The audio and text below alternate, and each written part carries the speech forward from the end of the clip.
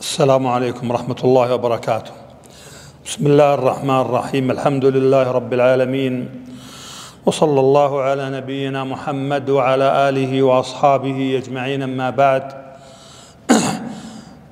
بدي ذي بد أحمد الله سبحانه وتعالى هيا لمثل هذه الفرصة باللقي بكم. ثم أشكر وزارة الشؤون الإسلامية والدعوة والإرشاد وكذلك مكتب الدعوة وكذلك أشكر الإخوة القائمين في جامع الراجح بالرياض حرسها الله بلاد المسلمين وذلك كله بعد شكر الله تعالى على إتاحة الفرصة لعقد مثل هذه المجالس العلمية.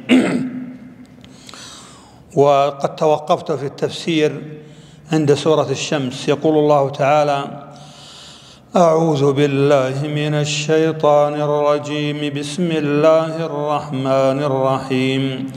والشمس وضحاها والقمر إذا تلاها والنهار إذا جلاها والليل إذا يغشاها والسماء وما بناها والأرض وما طحاها فألهمها فجورها وتقواها قد أفلح من زكاها وقد خاب من دساها كذب الثمود بطغواها إذ انبعث أشقاها فقال لهم رسول الله ناقة الله وسقياها فكذبوه فعقروها فدمدم عليهم ربهم بذنبهم فسواها ولا يخاف عقباها.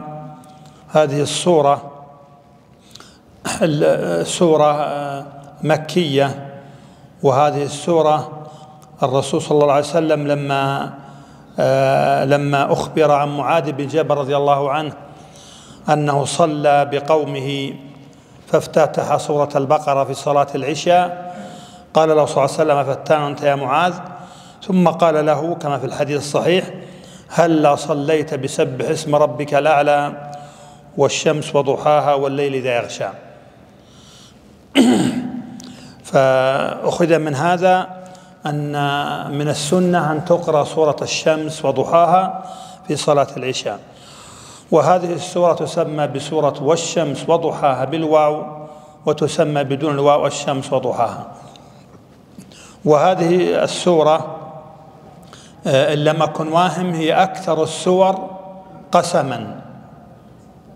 يعني الله أقسم بمخلوقات عدة أكثر السور قسما هذه السورة. يمكن تقريبا تسع أقسام أقسم الله بها.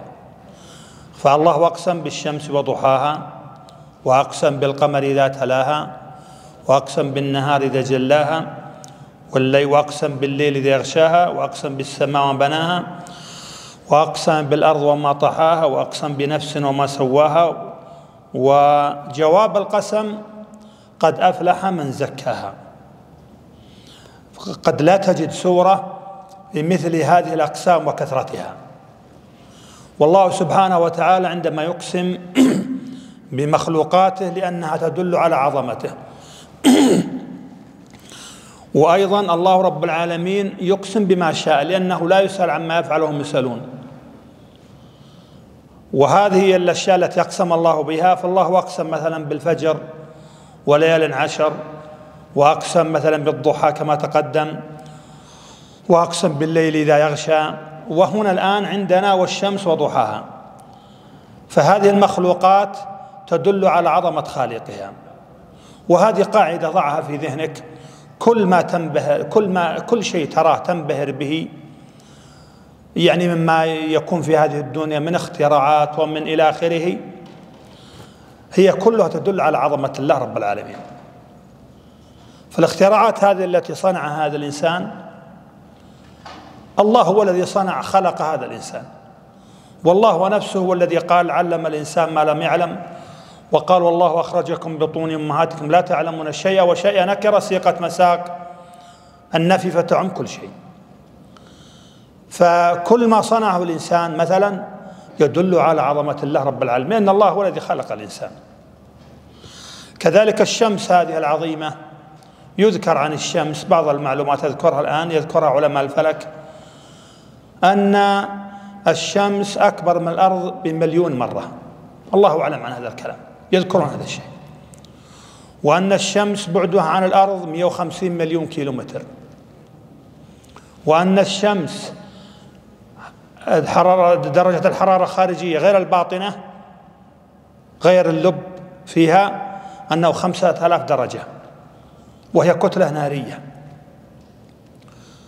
وهذه ولذلك يقسم الله رب العالمين بها.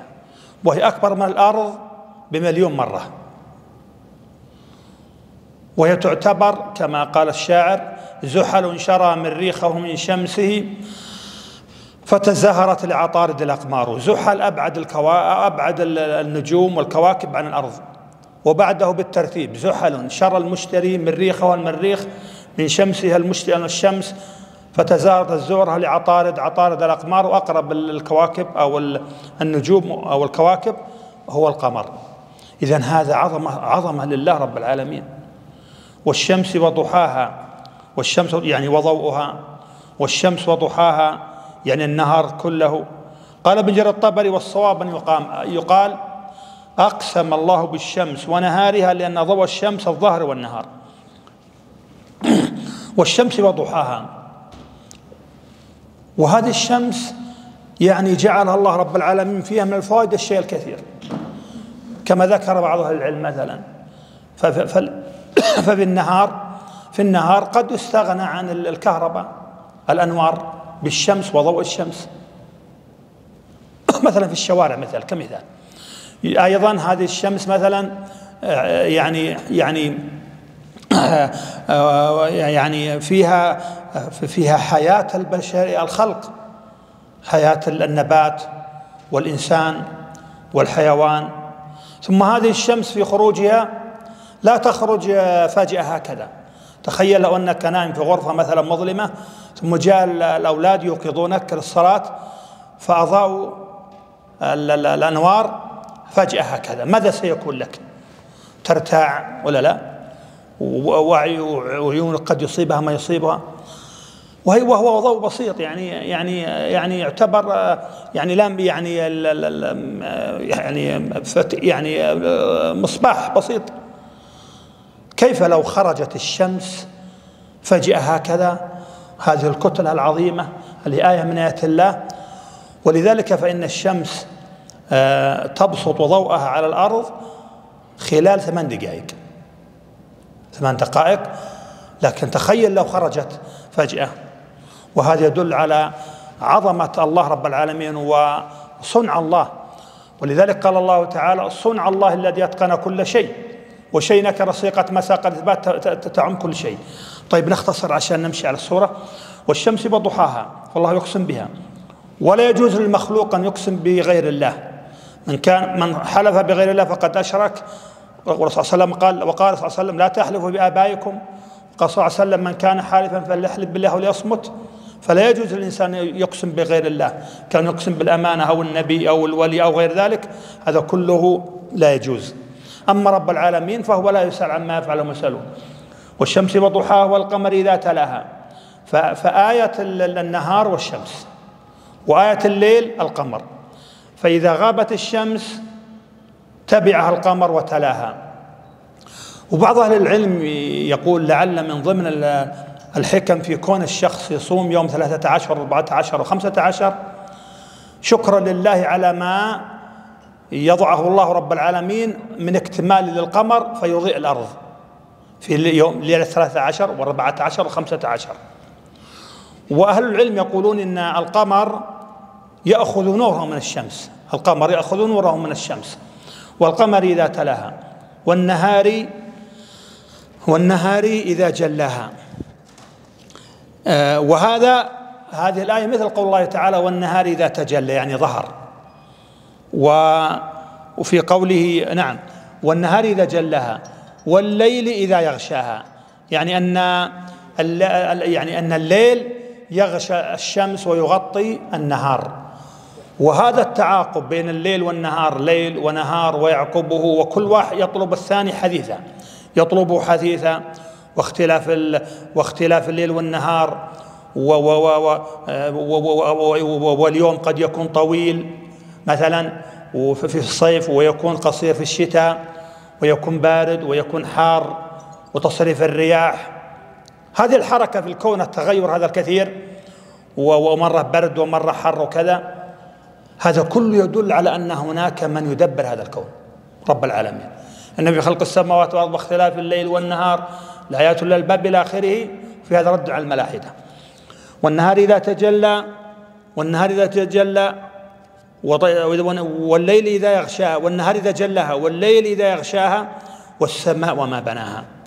يحتمل أن تكون هنا أن تكون ما في قوله وما بناها مصدرية بمعنى إذا كانت مصدرية يكون والسماء وبنائها. وهو قول قتادة ويحتمل أن تكون معنى من يعني السماء وبانيها وهو الله رب العالمين. والسماء وما بناها وعظمة هذه السماء تدل على الله ولذلك أقسم الله بها. وقد أخبر الله عن السماء أنها أنها أنها وبنينا فوقكم سبعا شدادا. وأنك تراها بغير عمد تراها. ليس لها أعمدة مثل هذا المسجد مثلا. المسجد لو أزيلت الأعمدة في وسطه سقط المسجد السقف على على على خر السقف. طيب ما الذي مسك السماوات بغير عمد نراها والله وصفها بالعظم؟ هذا يدل على عظمة الله. والسماء وما بناها والأرض وما طحاها. يعني طحاها يعني دحاها وبسطها ومد الأرض والأرض مددناها. والله رب رب العالمين دحى الأرض بمعنى أنه أودع فيها أقواتها في أربعة أيام وضع فيها ما يحتاجه البشرية في, في, في, في عيشهم عليها. من المعادن من الذهب والفضة واليورانيوم وإلى ما لا نهاية. والحديد الذي تقوم عليه صناعات العالم الآن في القديم والحديث. وأنزلنا الحديد فيه بأس شديد هذا في الأرض. وكذلك الله جعل الأرض تنبت. وكانت الأرض لا تنبت والسماء لا تمطر. ففتق السماء بالمطر وفتق الأرض بالنبات. هذا كله يدل على عظمة رب العالمين. هذا الخالق العظيم. أولم ير الذين كفروا أن السماوات والأرض كانت رتقا ففتقناهما؟ فتق السماء بالمطر وفتق الأرض بالنبات. وجعلنا من الماء كل شيء حي فلا يؤمنون قال سبحانه وتعالى والسماء وما بناها والأرض وما طحاها ونفس وما سواها. هذه النفس التي سواها الله رب العالمين. قيل إن المقصود بالنفس كل مخلوق. الله هو اللي سواه. وهذا نعم قيل هذا القول. وقيل نفس سواها المقصود بالجن والإنس لأنهم هم المخاطبين والدليل على ذلك أن الله أن الآية بعد تقول ونفس وما سواها فلهمها فجورها وتقواها. وليس هناك أحد مخاطب يعني مكلف إلا الإنس والجن. آه، طيب. فالله تعالى يقول ونفس وما سواها. نفس وما سواها. الله رب العالمين سوى هذه النفس وخلقها سوية مستقيمة على الفطرة القويمة. فأقم وجهك للدين حنيفا فطرة الله لا تفطر الناس عليها. والله سبحانه وتعالى جعل الإنسان خلقه في أحسن تقويم كما تقدم سورة التين. فالله يقول ونفس وما سواها. فألهمها فجورها وتقواها. ما جعلك الله هكذا؟ خلقك وهكذا وإنما خلقك لعبادته وبين لك طريق الخير وطريق التقوى وطريق الفجور. فقال فقال قال فألهمها فجورها وتقواها. بين لك طريق الخير لتسلكه وحذرك من طريق الشر لتتركه. فألهمها فجورها وتقواها. عليكم السلام. جواب القسم قد أفلح من زكاها. يعني قد فاز بالمطلوب ونجا من المرهوب من زكى نفسه. وطهرها من الذنوب وطهرها من الشرك والبدع والخرافة والوثنية والمعاصي والذنوب هذا يفلح. قد للتحقيق قد أفلح من زكاها. وبالمقابل وقد خاب من دساها. وقد خاب من دساها. يعني دسسها يخمل النفس ووضع ووضع منها بخذلانه إياها عن الهدى حتى ركب المعاصي وترك طاعة الله تعالى. قال قد أفلح من زكاها وقد خاب من دساها. فكأن سائلا قال هل هناك مثل على أن مثال مثال على أن هناك من أوقع نفسه بالذنوب والمعاصي قال لك ضرب الله لنا مثال قال كذب الثمود بطغواها. وكان سائل آخر قال لماذا لم يقل الله رب العالمين؟ مثلا كذبت قوم نوح المرسلين لماذا اختار مثلا ثمود؟ لماذا لم يقل يتكلم عن هود؟ تعرفون هود وضع مكانهم وين؟ في الربع الخالي قريب من عمان في في أقصى جنوب الجزيرة العربية. و فالتمس بعض العلماء قال لعل السبب في ذلك أن الله لما هدد كفار قريش الكافرين به أقرب الأماكن لهم والتي يذكرهم الله بها وأن هناك قوم خابت أنفسهم وقد خاب من دساها ووقعوا في الذنوب والمعاصي وخالفوا نبيهم الكريم صالح صلى الله عليه وسلم أقرب الناس إلى مكة من هم؟ الذين في المدينة في العلا اللي هم مدان صالح صالح صلى الله عليه وسلم وهو من أنبياء العرب لأن العرب أنبياء العرب أربعة تقريبا أو خمسة نسيت هود وصالح وشعيب ومحمد صلى الله عليه وسلم وأفضلهم النبي صلى الله عليه وسلم على الإطلاق على جميع الأنبياء والرسل. فالله تعالى اغضر قال كذب الثمود وهم قوم صالح وإلى ثمود أخاهم صالحا قال يا قوم اعبدوا الله ما لكم من غيره.